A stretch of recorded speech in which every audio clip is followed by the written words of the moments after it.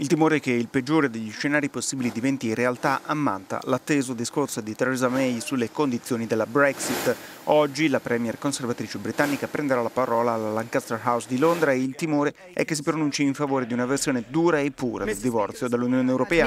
uscita totale dal mercato unico per poter avere controllo totale sull'immigrazione.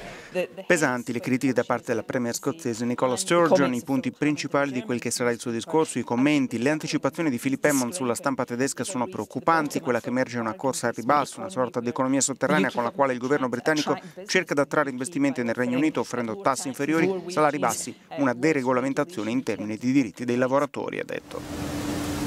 Il destino di un Regno Unito isolato non soltanto geograficamente ma economicamente dal continente intanto non fa dormire sonni tranquilli alla sterlina che ieri ha toccato i suoi livelli più bassi dal 1984. Nell'intervista rilasciata al Times il presidente statunitense eletto Donald Trump